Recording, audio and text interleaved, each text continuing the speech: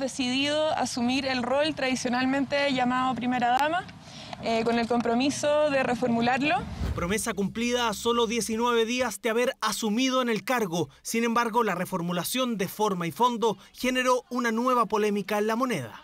Bueno, efectivamente no hubo eh, visaje y por eso el error administrativo eh, fue constatado. No era parte, obviamente, de la definición política que esto se personalizara ella continúa con sus funciones. ¿Cuál fue el error administrativo que se conoció en las últimas horas? Todo comenzó el 30 de marzo cuando una resolución exenta emanada desde el Palacio de la Moneda establecía el cambio de nombre y funciones del tradicional cargo de primera dama, documento donde se establecía, además del rol protocolar, que su misión estaría enfocada en proponer y coordinar definiciones para políticas públicas con énfasis en grupos históricamente excluidos como pueblos indígenas, migrantes, género y diversidad sexogenérica. Uno de los puntos polémicos fue el cambio de nombre que pasó de primera dama a gabinete Irina Caramanos. Ministro, sobre la polémica por el cambio de gabinete Irina Caramanos. Ay, después vamos a hablar de eso. Después, no se preocupen. Cuídense. ¿Qué han podido conversar ustedes? Eh, Yo no tengo ningún comentario que hacer al respecto. Me refiero a las tomas de mi cartera. Permiso.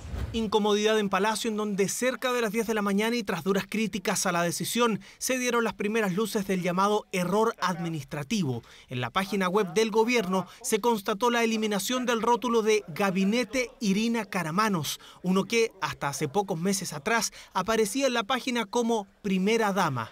La propia antropóloga reconoció vía Twitter que se había enmendado la resolución manteniendo el interés en avanzar en las transformaciones al rol con las que se habían comprometido prometido.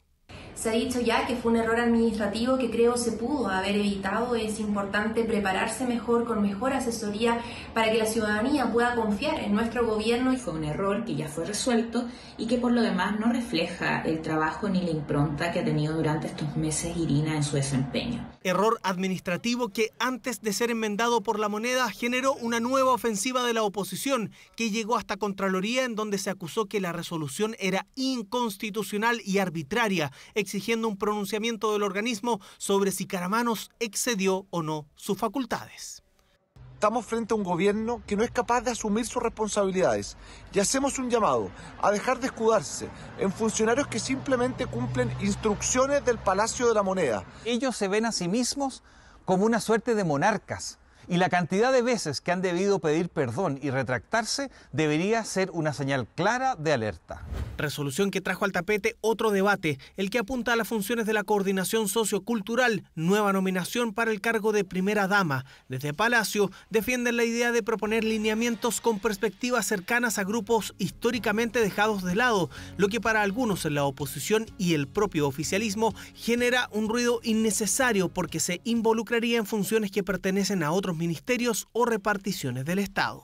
Se coordina permanentemente y hace trabajo colaborativo con las autoridades correspondientes dígase Ministerio de Desarrollo Social, Ministerio de la Mujer y Equidad de Género y distintos ministerios. Creo que el rol de la primera dama está bastante circunscrito, hay que quedarse en ese espacio y no ampliar, ¿cierto?, las funciones que pueden tener o generar una tensión con los ministerios sectoriales. Hay un choque evidente con CONAD y Ministerio de Desarrollo Social, las desigualdades de género que también podría tener un choque de funciones con la Ministra de la Mujer. Entonces es importante también ir aclarando cuál va a ser el rol finalmente de este nuevo cargo resignificado. Funciones que Irina Caramanos siguió ejerciendo durante esta jornada en la comuna de Alto Biobío en el sur del país, lugar donde participó de la colocación de la primera piedra de la escuela Palmucho de la comunidad de Quepucarralco, actividad a la que no tuvieron acceso los medios de comunicación tras una polémica que apuntó a Irina Caramanos, quien llegó a la moneda como primera dama, cargo que con cuestionamientos adoptó su nombre por un error según el gobierno y que desde ahora será conocido como la coordinación sociocultural de la presidencia de la República.